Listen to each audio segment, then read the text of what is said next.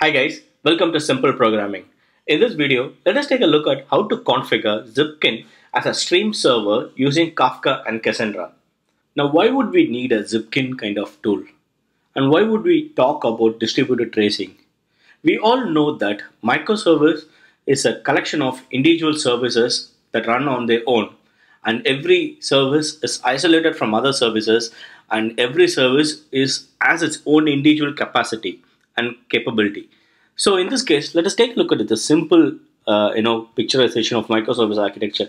This is not a right uh, architecture but at least it gives you a picture or the visualization of how the tracing works.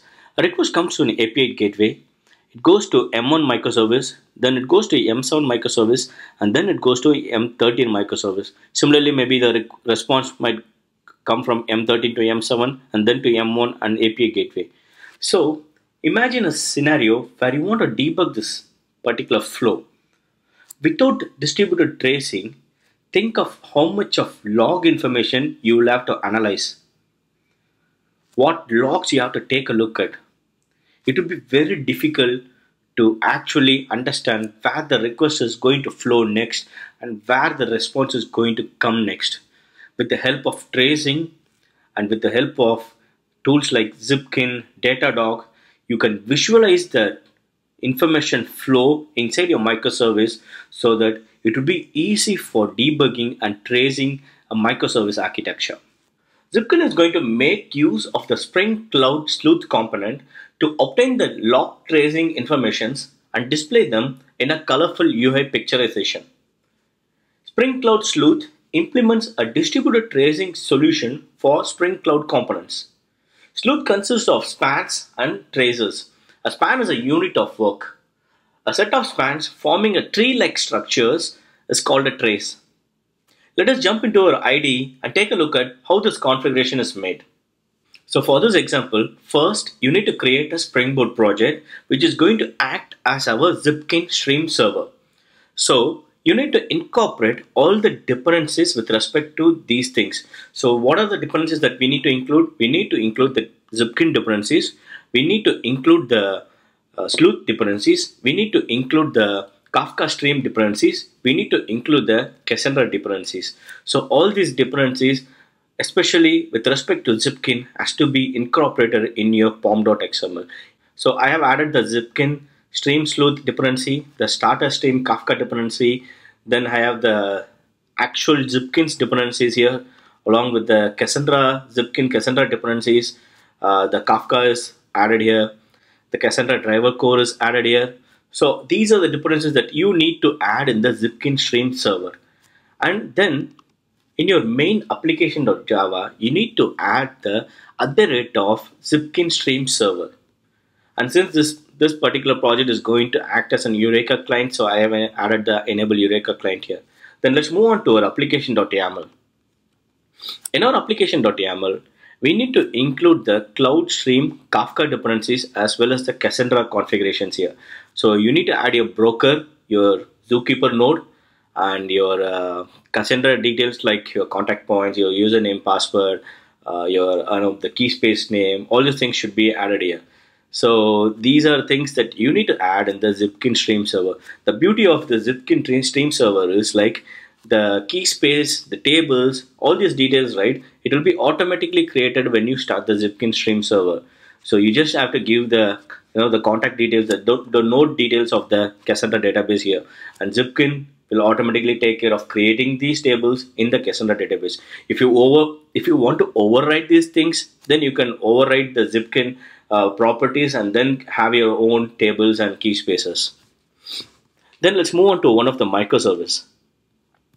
I have the student microservice here and in my pom.xml let us quickly take a look at what are the dependencies that I have added here to make the stream possible.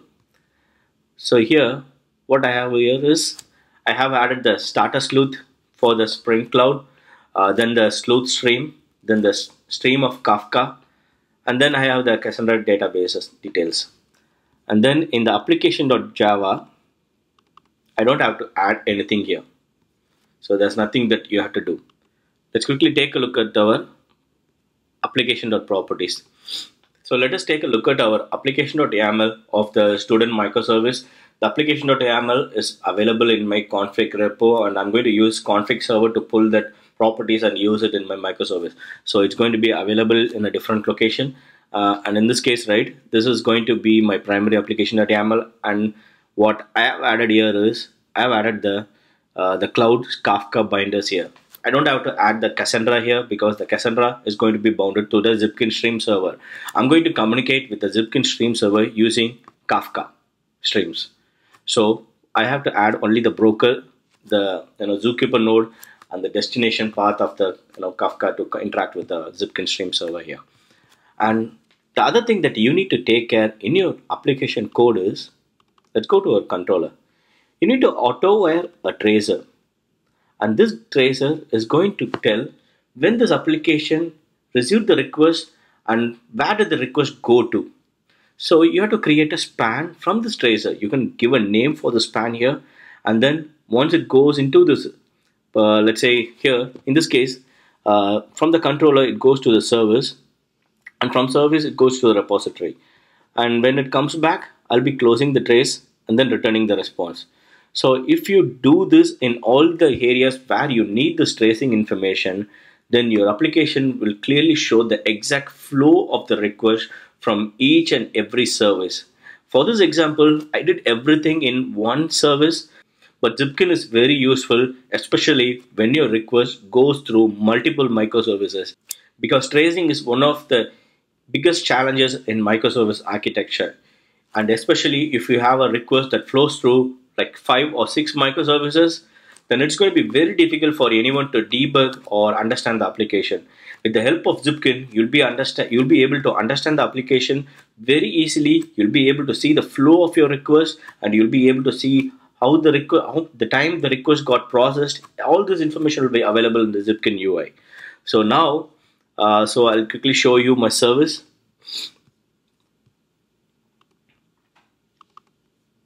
So here's my service. I've auto the tracer here. I created a span and then I've closed the span here once uh, you know when the processing is done. So this this particular tracer, right? You can actually implement this in a cleaner way with the help of aspect-oriented programming. Just like how we do this loggers, right? Loggers and uh, you know the controller advice. You can actually implement this tracer so that it always runs in the background and captures the elements for you irrespective of writing all that spans inside your actual business logic. So let me quickly start the server and then let's try to fire a URI and let's take a look at our Zipkin UI. Alright, the server is up and I have the postman here. I'm going to fire a uh, you know a post mapping request to the student API. Let's see what happens. So my send is successful. I've got a response here with the response element here success recorded to the database, uh, the transaction date, the transaction ID, and the actual request that was sent in the uh, in the initial space. So let's go to our database and let's try to find this in the tracing. So here's the Zipkin key space, which was automatically created by Zipkin and the list of tables here. So let's let me try to do a select on the traces table. So here's our trace information of the request. There'll be multiple information here. It will be really difficult to understand it from the database standpoint. Let's move on to our UI and take a look at it. So once you start the Zipkin stream server, right? So this is how the UI looks like. And in the UI, you'll be able to see the list of services available for currently I have only one microservice here. You can even filter by span name if you give a span name there. Let's click on find traces. So here's our trace. It has nine spans here. Let's click on this.